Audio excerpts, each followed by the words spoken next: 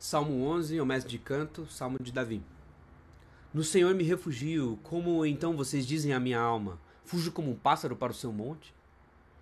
Porque eis aí os ímpios, armando seus arcos, colocam a flecha na corda, para que as escondidas disparem contra os retos de coração. Ora, se forem destruídos os fundamentos, que poderá fazer o justo? O Senhor está no seu santo templo. Nos céus o Senhor tem o seu trono, os seus olhos estão atentos, as suas pálpebras sondam os filhos dos homens. O Senhor põe à prova o justo e o ímpio, mas ele abomina o que ama a violência. Fará chover sobre os perversos brasas de fogo e enxofre. Vento abrasador será parte do cálice deles. Por ser justo, o Senhor ama a justiça, e os retos lhe contemplarão a face.